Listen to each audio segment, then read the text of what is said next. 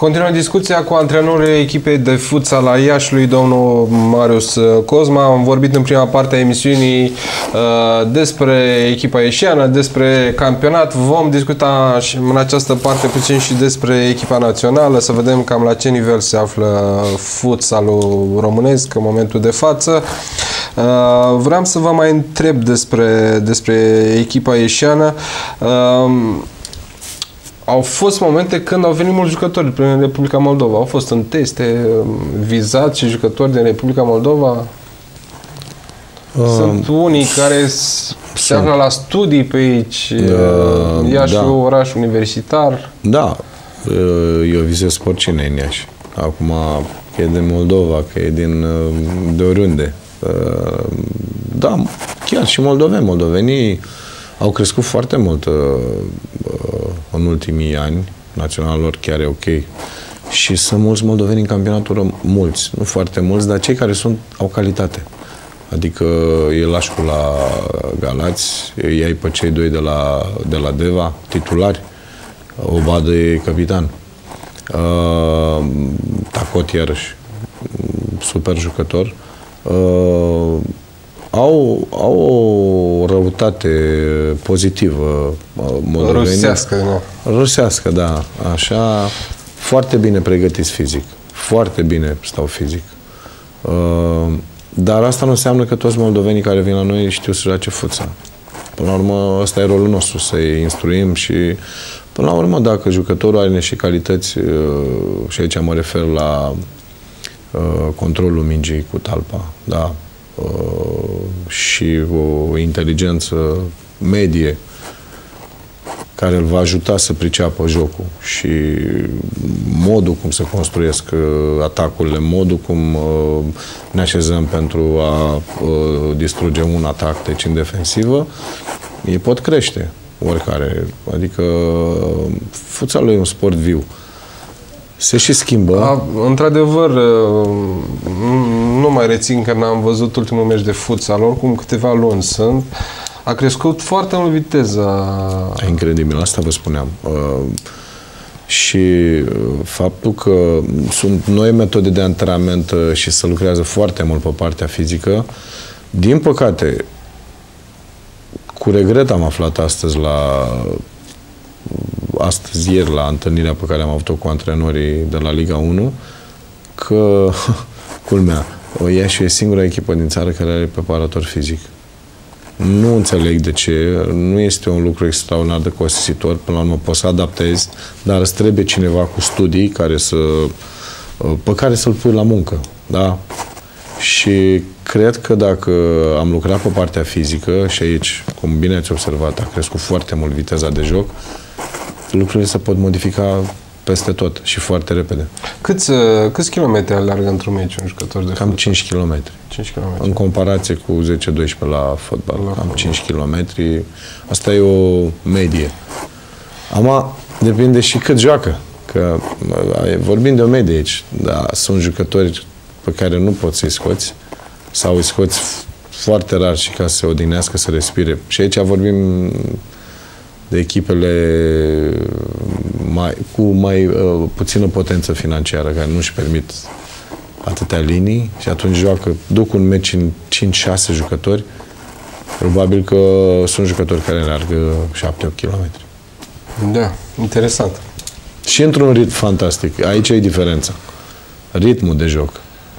Dacă la fotbalul mare și aici nu, nu folosesc comparația asta la modul peorativ. Asta e specificul fotbalului. Ai timp să mai respiri. Deși dacă ne uităm la Champions League, nici acolo. Nu nici acolo, să, da. Nu prea ai timp să respiri. E, la futsal nu prea ai timp să respiri. Se joacă intensitate, intensitate. Atac, apărare, atac, apărare, contraatac, pressing tot timpul. E, adică e destul de greu. Respiri pe, pe margine. E un joc în lipsă de uh, timp, spațiu și aer. Despre echipa națională de futsal a României? Uh, din întâmplare sunt, uh, suntem amici, sunt amic cu antrenorul echipei naționale. Uh, fostul mare internațional uh, Robert Lupu și chiar vorbeam la uh, la Călăraș pe tema asta și ei se află într-o, și ei, și noi, ca și național, ne aflăm într-o reconstrucție pentru că se schimbă generațiile. Uh, acea generație pe care o numesc de aur și vă aduceți aminte de acea linie fantastică cu doi stângași, doi dreptaci, bine echilibrată, care a făcut furori, mă rog, la nivelul nostru, E bine, acei jucători au cam dus greu echipe naționale peste 10 ani și e momentul să se schimbe liniile, să zic așa. Nu s-a avut grijă din timp de treaba asta și acum ne aflăm într-o acută criză de tineri care să vină. Și atunci am început să naturalizăm. Și ceilalți deja au făcut uh, pași importanți. Uh, Kazahstanul. Uh... Kazahstanul a crescut enorm. Da, și acolo, brazilieni. Da. Uh, nu știu, politica asta e făcută de federație până la urmă. Sunt lucruri pe care eu nu prea le înțeleg. În loc să ne concentrăm pe a forma grupe de juniori de la 11, 12, 13 ani, pe care să învățăm futsal, da? de la controlul mingii cu talpa, de la poziționarea în teren, de la modul de a ataca adversarul, de la modul cum stai în teren uh, și între ghilimele să-i dresăm în spiritul jocului, noi naturalizăm jucători ca Ike, de exemplu, care are 37 de ani în acte, acum nu știu, am dubii. Uh, păi Ike îl știu din uh, 2006 când juca la MGA. Ei, acum joacă în Național României. Incredibil. N-am nimic cu modul ăsta de a pune problema, dar dacă tot aducem, să aducem ceva în plus. Cum e Savio. Cum e Savio.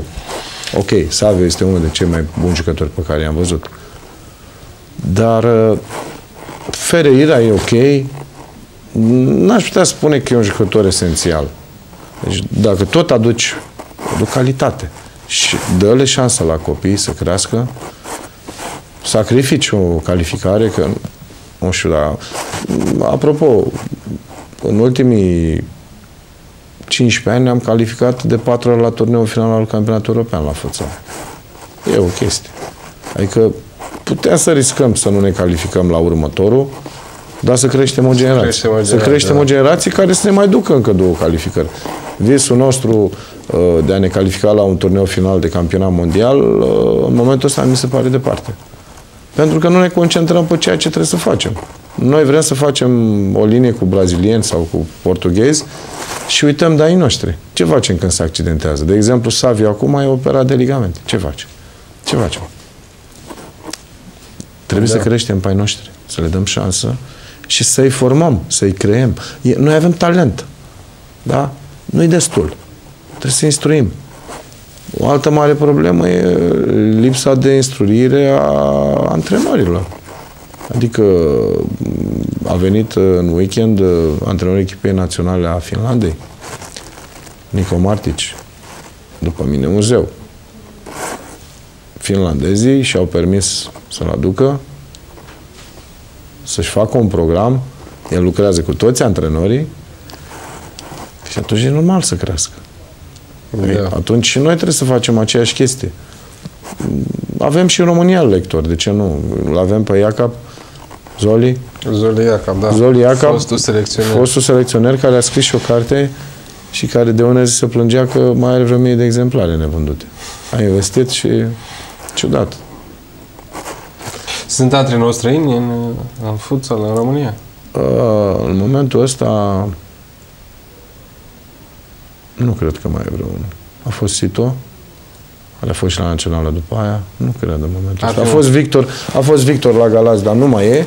Ar fi un plus dacă ar veni și antrenor străin? O, peste tot în lume ne uităm în echipele bune există staffuri foarte bune. E un mare plus să poți să aduci un antrenor cu experiență și care poate, poate, poate să facă ceva, dar eu cred că în primul rând trebuie să dai marfă. Adică să ne concentrăm. Da, am putea investi, de exemplu, în antrenori.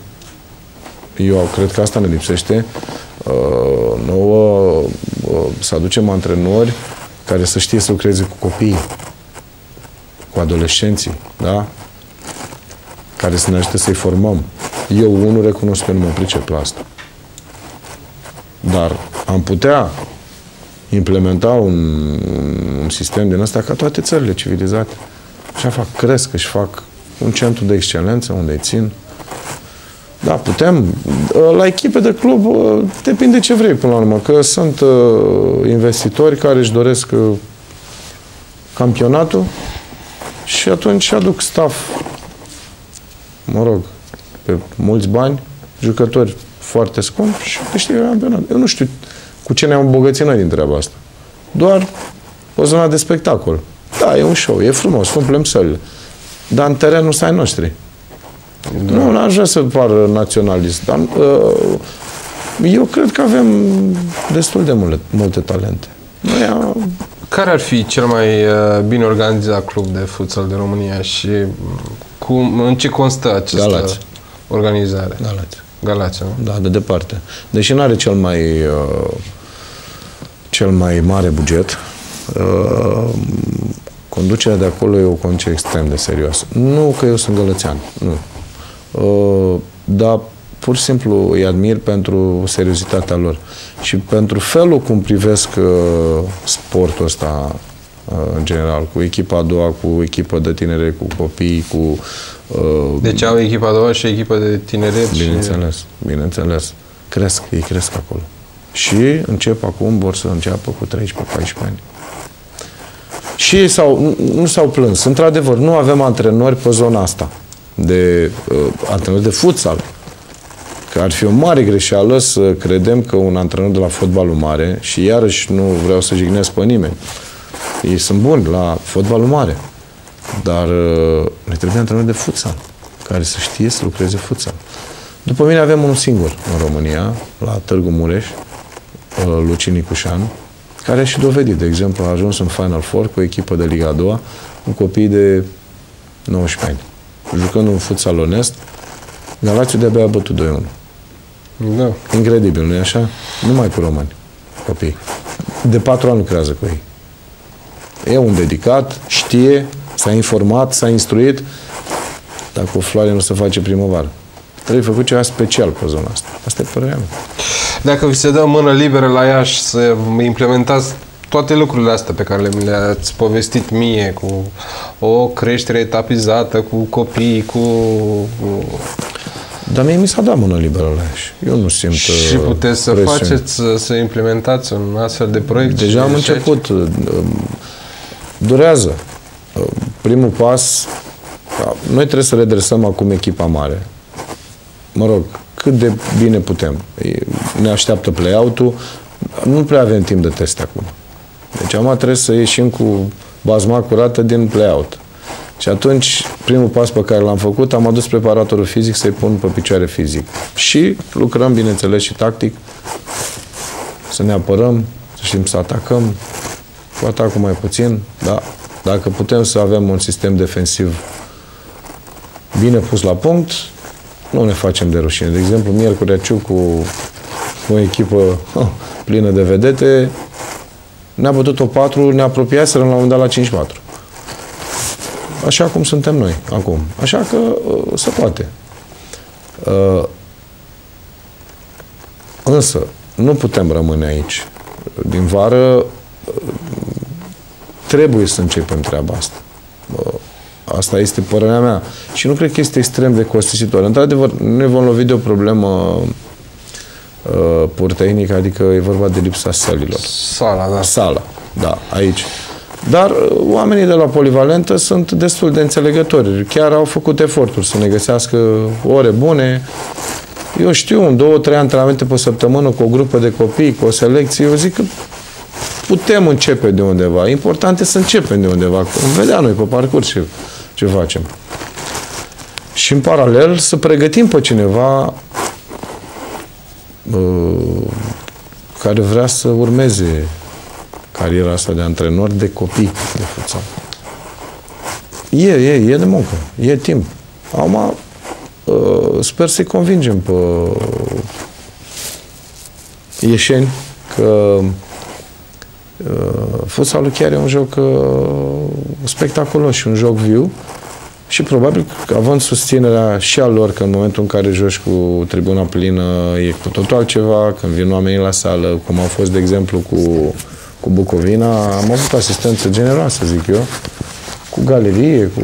a fost superb, adică băieții s-au simțit extraordinar, cu toate problemele noastre. Eu zic că se poate. Da, ne trebuie, trebuie un pic de organizare din toate punctele de vedere și rezultatele o să vină, dar nu acum. Da. Uh, la nivel european, care e cel mai puternic campionat? Spania.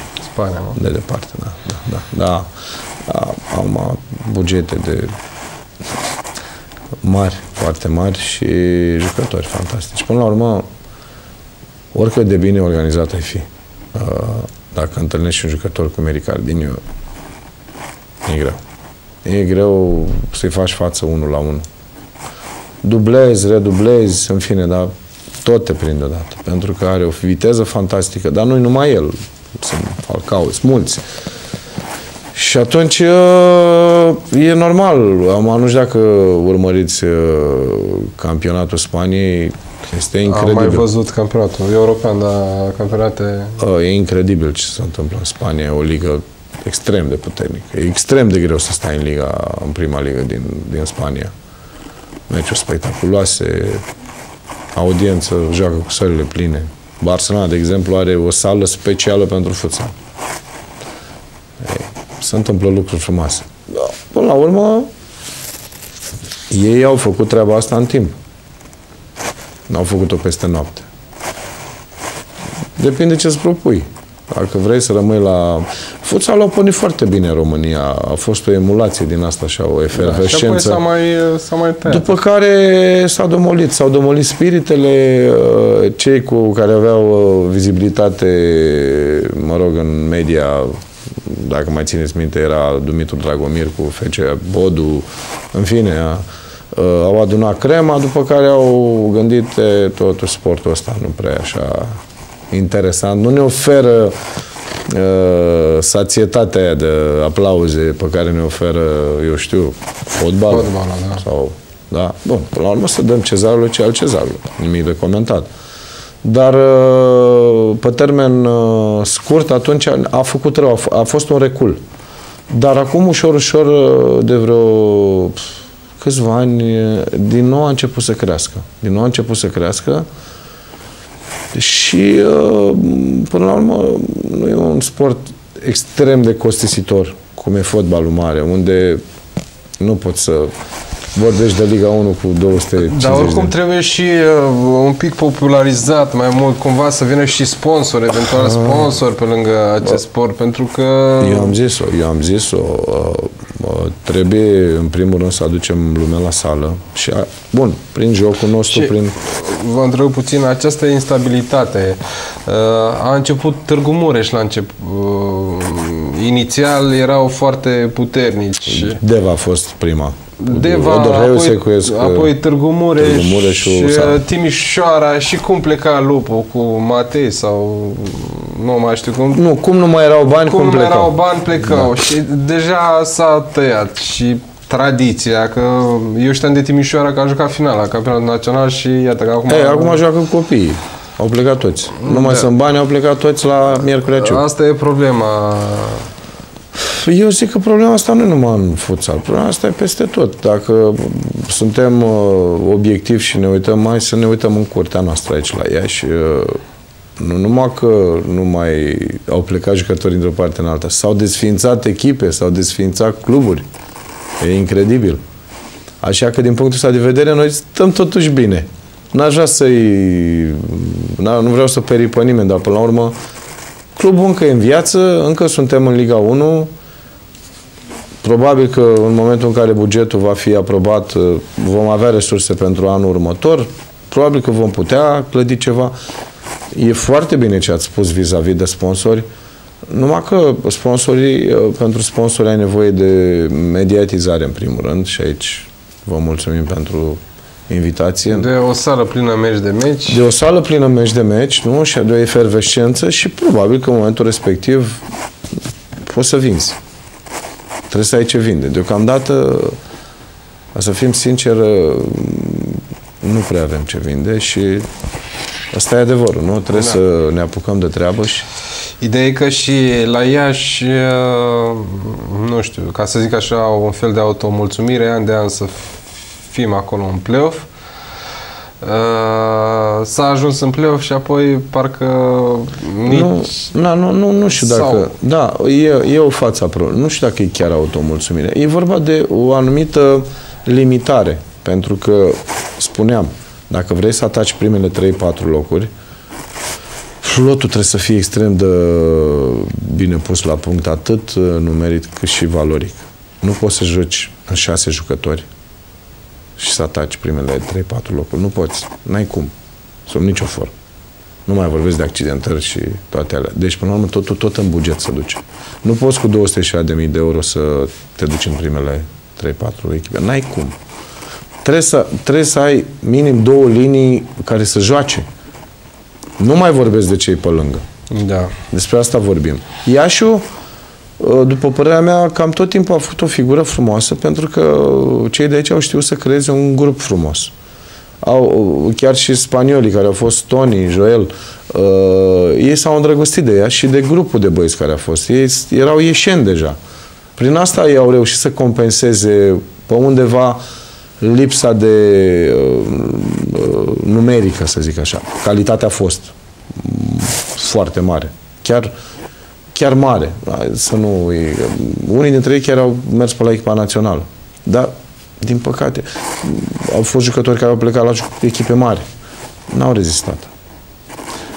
E, sunt anumite cerințe. E vorba de ritm de joc, e vorba de pregătire fizică, e vorba de Așadar, cu un buget de 500.000 de euro pe an, Iașu s-ar bate la titlu.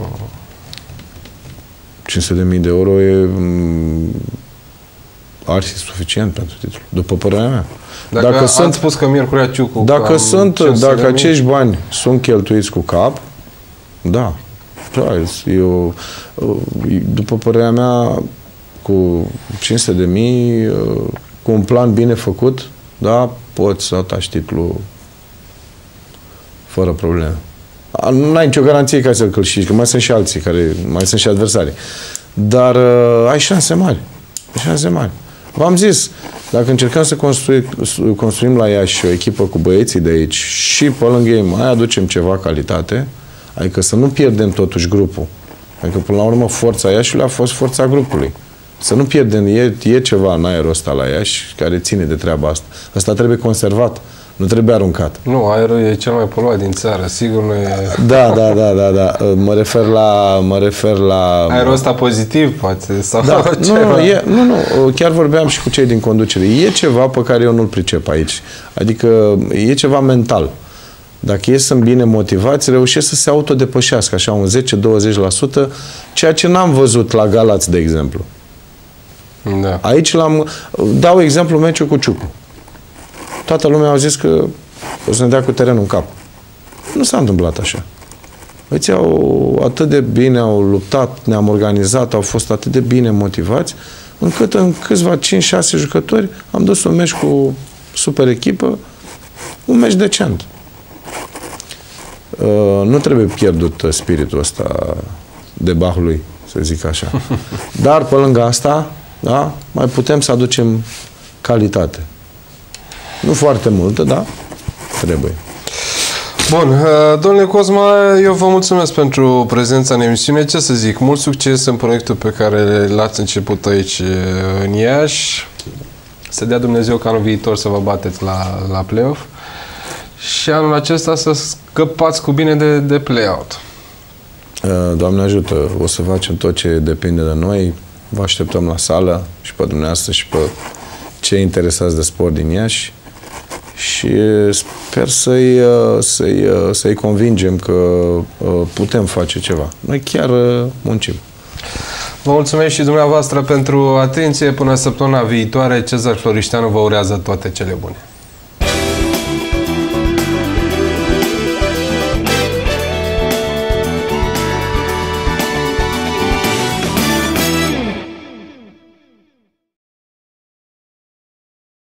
Această emisiune a fost oferită de Cotmari,